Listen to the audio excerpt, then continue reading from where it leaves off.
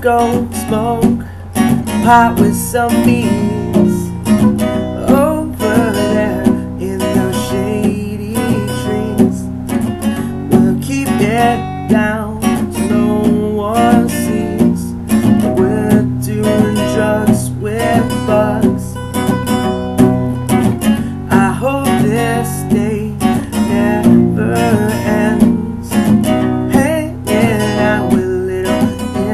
insect friends.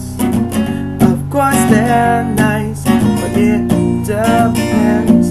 Just don't try to give them hugs, cause they'll take flight and they'll sting. Who knows what drug the bugs will bring?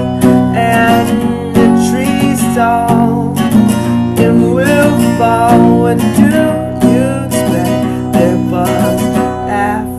It's